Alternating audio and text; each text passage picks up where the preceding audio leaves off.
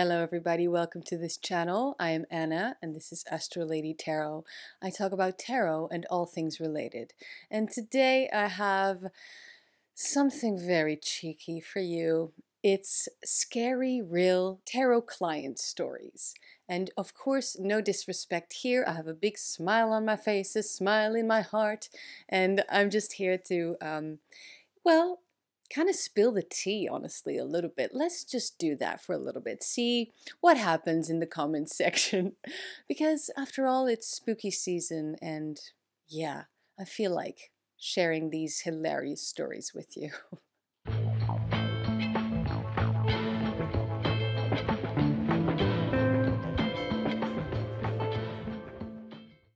Check out my cute new mugs.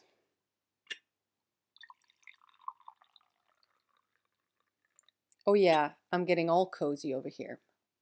This is chocolate tea, which I really only like in autumn or winter, but you know what I mean, the colder months. So we are diving into all tarot readers' worst nightmares.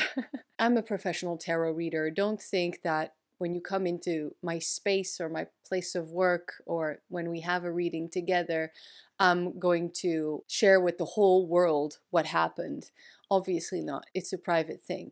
But these things uh, obviously won't name anybody and honestly it's funny. It's also that I really think it's helpful for tarot readers but then also tarot clients alike to hear these stories so that we're more prepared and maybe you know then what to do, how to handle the situation. Basically, these are tips for tarot readers. So let's start with the first one. Okay, I had this client, very sweet, very nice lady. She took a very long time getting ready to sit down in her chair, take off her coat. It was in the store I do readings at. She, you know, she was polishing her glasses. Um, is that how you call it? And she absolutely, which why not? I kind of appreciated it, wanted to pay beforehand. Now, she didn't have cash. Please continue using cash, by the way. It's our privacy and freedom. All right?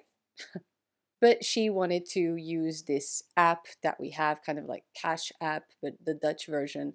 Uh, that's how I do quick, easy, those small payments at the store. Now, her phone really didn't cooperate, and really, in a 15 minute reading, it took us a long time, right? It took us a few minutes to get all of this done. Well, finally, it's all paid in advance. It took really long, but here we go. Finally, ready to do the reading. She got comfortable. She looked at me and she said, Okay, I want you to read my aura. and I was there with tarot signs everywhere, with my tarot cards fanned out already, ready to shuffle them for her. There was so much laughing in my head. But she seemed so sweet, you know what I mean? And after all that crap, I really didn't want to just tell her, I don't do aura readings. I'm a tarot reader. Hello. No, obviously, I wouldn't have that attitude.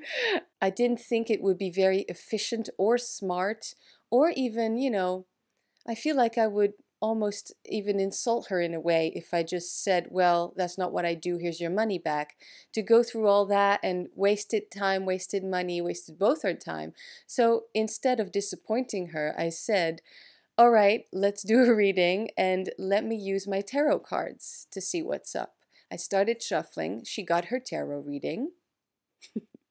and you know, she was very invested. I think she appreciated it. It was not what she had expected, but obviously she was not what I expected either. And well, she got her reading. I think she came out of it a little surprised, obviously, but wiser still.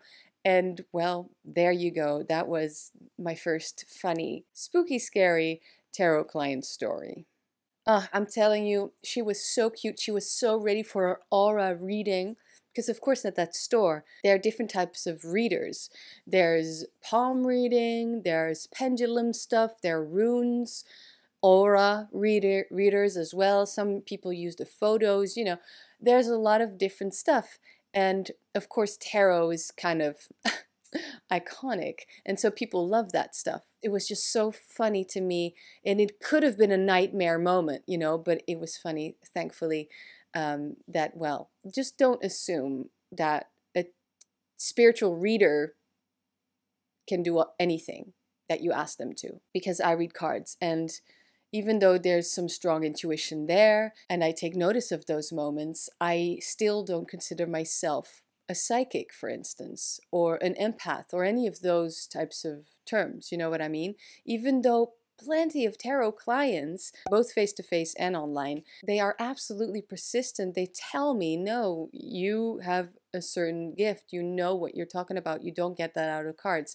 And I say, thank you. Really, it's very nice to hear.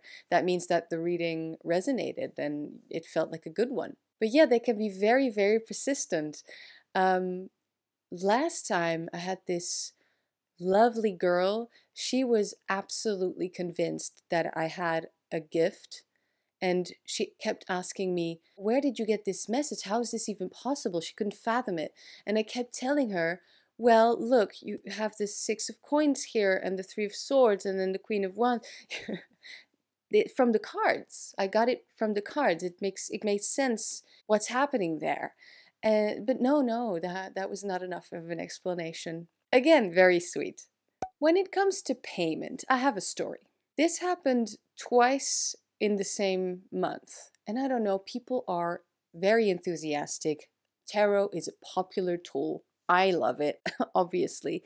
But it's a DM thing. Somebody contacting me through Instagram for a reading and then not wanting to pay beforehand. Our online reading appointment only stands after payment has been done. Otherwise, how am I going to trace you? Let me know, other professional tarot readers. Is this how you do it? Or do you let them pay afterwards? Do you just trust the person? I've noticed that this is pretty much my only rule. And when people refuse to pay for one reason or another, it's just I don't do the reading. I need to protect myself as a small business. Of course, face to face at the store, I let people kind of choose if they pay beforehand or afterwards, but everybody does. Online, I don't know you. It's nothing personal, it's business. And of course, the tarot reading, it's it is a very personal and private uh, interaction that I really do enjoy. I love as I say, solving the puzzle that's there in tarot format on the table.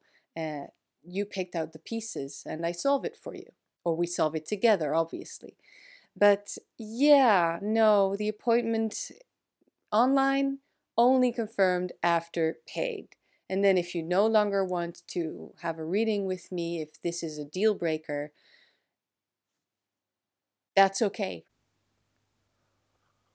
Okay, then also I have the typical Instagram DM or comment section also on YouTube, which isn't malevolent, absolutely not. It's not bad. It's just, I'm really trying to convey here that this is a business, this is a work. And yes, it's also a passion, but realize that I don't have an infinite amount of time or energy. And in order to do the work that I do and do it well, because I want to do it well, I cannot answer again asking or other readers to confirm this for me in the comment section or to just, you don't have to confirm, you don't have to agree. Tell me how you handle this or if you handle this at all. I do not do free tarot readings unless your friend I already know and we just hang out and I start start shuffling a deck as we're talking because I like shuffling. and yeah, we just kind of do the reading, you know what I mean? But there's a lot of this, "Hi, I picked 7 cards" and then name 7 cards. What do these mean? I mean, even if you don't have a spread, what's the context? Did you ask a question? did you or or did you just ask, tell me what I need to know now. I don't I don't know what these seven cards mean. I know what they mean. You see, basically I'm not going to answer that for you. then there's that famous request. This is in DMs. Hey, what's up? Want to throw me a card? Honestly, again, I know this is very friendly, but no. Life is busy, all right? And I, I think I kind of like it busy. When I do free tarot readings, because that actually does happen, it's during a live stream. And I'm in the mood and I feel like doing that. And I have time and energy for doing that, more importantly. And also, yeah, I really do like the interaction. But I hope I'm explaining this well. The way to contact me is for business.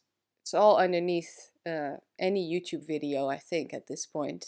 But when it comes to these types of questions, your best bet is the comment section. Don't DM me. I really don't want to sound like I'm the scary gal over here, even though, well, maybe I am a little, I'm a little scary. Maybe I'm a little scary. Actually, no, I'm really not scary. Or am I? No, I'm not trying to come off as a bad person here who only cares about business. Obviously not. Otherwise, I wouldn't be this deep into the tarot, right? Hopefully, that's a good reason. I'm rambling. The thing is, I really do care about this stuff. I just, again, it comes down to time, energy,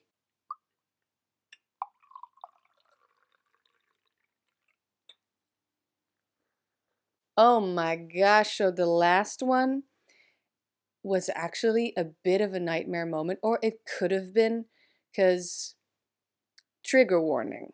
You have to realize whether you're on this side of the table as the tarot reader or on that side of the table as the client. This is when we're in a reading space, this is my place of work. Of work. Now, I had this woman sitting in front of me she was expressing to me that she had a gift, right? She could really sense people or eh, energies around people. And as I was doing the reading for her, I was helping her, she was reading me. I didn't know that. I was telling her what her cards said, and she seemed to, you know, agree. It's all good, helpful. But then out of nowhere, she asked me if I had a kid. And I was quick to answer, nope, I don't have kids. Her next question was, miscarriage then? Oh, honey, look, I really don't want to judge you over this one extremely awkward and misplaced and very wrong time, wrong place question. Obviously, also, we don't know each other, but that just, you know, don't do that. Don't do that. What if I had had something like that happened to me and i for instance had these really terrible feelings about it. Do you know what i mean? What's the reason here? Why do that? I'm in my place of work. Do you want me to start crying? Do you want me to get angry? I think both of those no. I think she just spilled out her very inappropriate question and didn't even realize that it was it could have been hurtful or she could have gotten in trouble. And well, I'm thankful to say that she was very wrong, but um, you know, what again? What is the reason behind asking a question like that? Even if you're right, what do you hope to accomplish? A compliment from me that you're right? Maybe I am judging her a little bit. A little bit. No, okay. It's fine. Everybody has these weird, awkward moments in life. I'm just sharing it here because hopefully this is still, you know, not just an entertaining video, also helpful video for tarot clients or tarot readers. You know, be prepared for the crazy stuff. There's probably way crazier stuff that has happened to you or that I'm forgetting. But yeah, this is a special field of work it's spiritual. We're talking feelings. We're talking shadow. We're talking problem solving kind of thing. And giving comfort, giving space, all of that. So, still, that doesn't take away that it's a professional setting. Even if somebody doesn't charge for readings, don't do this. Don't do this to people while they're at work. Just a tip from me to you. Okay, folks, this was my scary real tarot client video. I want everybody out there, if you're ready, if you're up for it, to spill the tea, have it be a soaking wet Earl Grey comment section in the comments underneath this video so that we can all kind of, yeah, enjoy the horror and hopefully see the light-hearted, fun aspect of just the really the wackiness out there, the craziness that finds us in this field of work. Obviously, very thankful for each and every client I get to meet, but yeah, there are some funny stories. Obviously, don't share or don't share too much about their private reading, I would say, but I would love to be just a little bit shocked. That's that that's fun. So happy Halloween. Enjoy Samhain. And, and yes, I am going to do this to you. Don't leave yet. All right? leave your comment in the comment section. I am gonna be there. I'm gonna be reading every single one and reacting. And after that, stick around because I'm gonna link in the screen a video that you're gonna like as well. Thank you everybody for being here. I will see you all next week. Bye.